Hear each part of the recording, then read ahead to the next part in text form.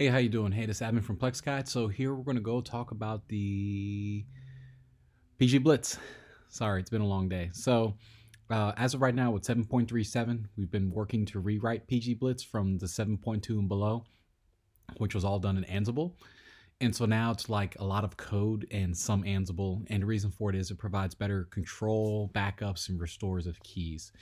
So right now, I'm going to go ahead and just type Plex Guide and start off the program and I'm gonna basically deploy this as though um, I've never configured this before. So I'm gonna go to PG Blitz,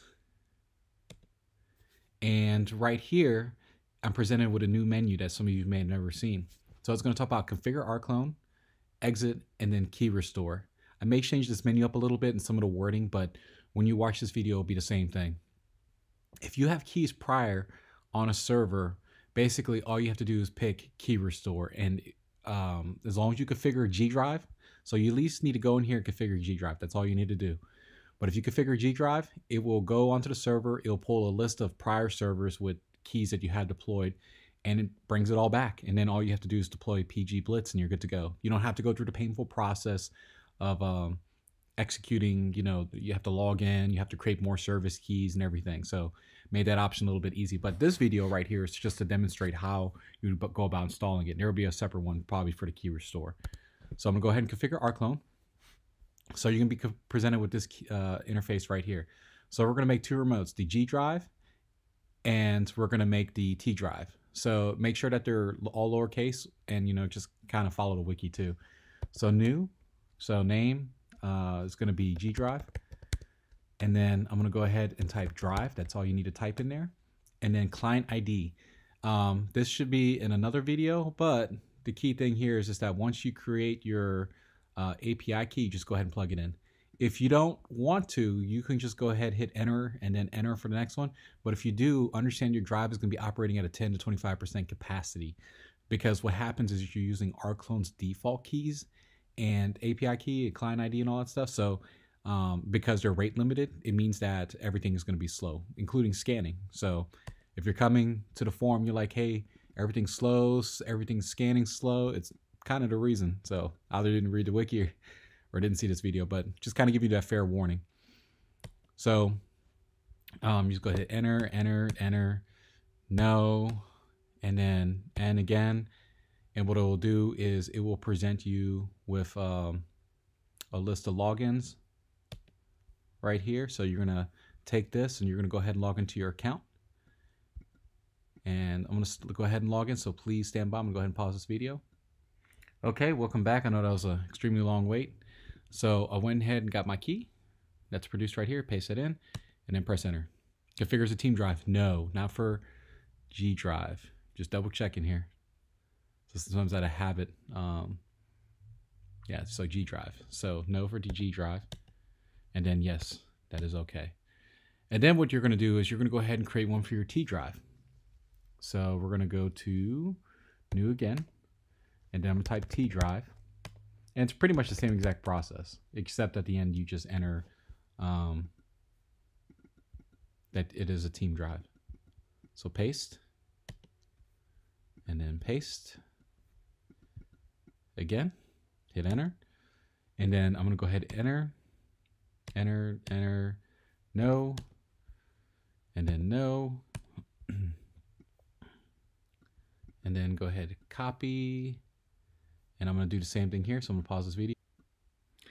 Okay, thanks for the wait again. So I'm gonna go ahead and paste, enter, configures a team drive, yes. So what happens is these will be your different team drives here. So I'm gonna go ahead and pick uh, media. And then, yes, this is okay. And there we go. So once we have these two created, we should be able to exit and then we should see the full regular menu. So here's the full regular menu. Um, and the purpose that it kind of like hiding it was just to make sure that you were good to go. Okay. So we're going to go ahead now and we're going to do uh, the key management. And then here's the uh, project and the login account. So I'm to go ahead and then right now, because I have zero keys, I'm to go ahead and say make service keys. and then it's going to ask me uh, how many keys do I want to create. Realistically, most likely you're probably going to create like six, probably. So because realistically, you're only going to upload so much data per day.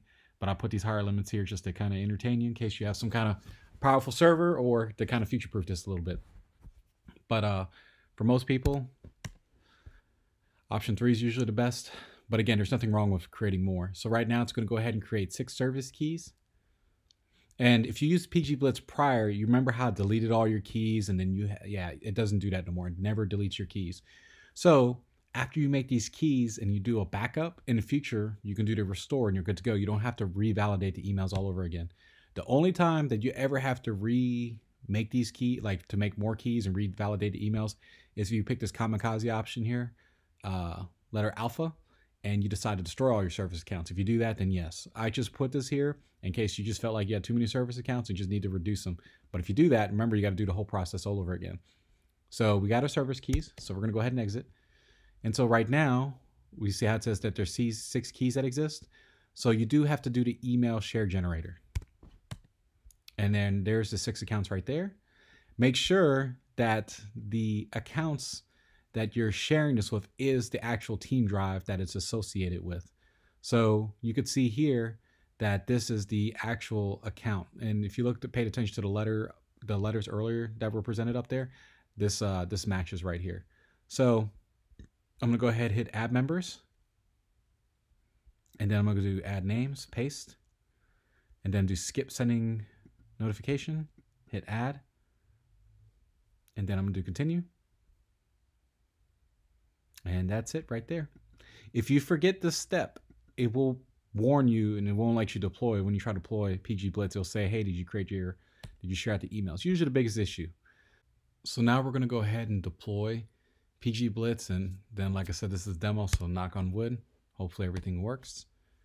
So I was creating a test directory, and then it's checking for an existence, and then when it's good to go, it's good to go. And it's good as creating the directory anyways, because it's what you need. So the service is installed now. Union FS installs, all the good stuff that you need, right? And then after this, um, we're going to go ahead and drop a dummy file in uh, mount move just to show the concept of it working. So it looks like everything success successfully executed. So Z exit and then exit and then exit. And then we're going to do touch, mount, move. Uh, let me just go to mount move. I, I like doing that better. Mount move just to make sure. Uh, echo, um, beware, and then we're going to put man, bear, man, bear, pig is real, txt. LSLA. We see it there, pg log, and eventually this, this command will change. See, okay, so it looks like it's moving into the GDSA folder. Good. And it's starting to upload. And it looks like the upload's complete. And let's do refresh. And there we go. So PG Blitz is good to go. So if you ever want to check on the status of uh, PG Blitz, you could type systemctl status. I mean, sudo systemctl. I'm root, so it wouldn't matter. Status uh, PG Blitz. And you can see that the service is active and you can see that it kind of copies portions of the log. So now we're going to go ahead and check PG Blitz well, not PG Blitz, but G drive. Sudo system CTL status G drive, and there we go. And uh, yeah, that's pretty much it. And you can do the same thing too, also for Union FS if you wanted to check. It will say exited, so don't freak out. As long as you get to green, you're good to go. And then the last thing you can do is you can type SG drive. These are custom commands I made. You see right there. So status G drive, ST drive, it does the same thing. And then S union FS. See right there? So you could do the same thing. For some reason, if you want to look at the file that's deployed without going crazy into it, I did N for nano. So again, these are just custom commands I did. So ng drive, and you see it shows you what it looks like. So if you want to look at your file real quick, if you edit it, it's not going to do anything unless you redeploy the service. So unless you do a system CTL restart, and then you got to do that uh, change, it won't do much. So same thing, and Union FS. So if you ever want to look at the configurations, maybe to troubleshoot, you can always do that. But other than that, that's pretty much it for uh, PG Blitz. And it's been fun working with it. And other than that, uh, yeah, if you could subscribe, uh, comment, um, post on the forums if you have issues, just please let us know. Um, again, this is a beautiful hobby project. I say beautiful because it feels like a work of art. No, I'm just kidding. Anyways, it's it's been great. So, um, but yeah, thanks thanks for everything, and uh, appreciate you uh, checking this video out. And you have an awesome day. Thanks. Bye.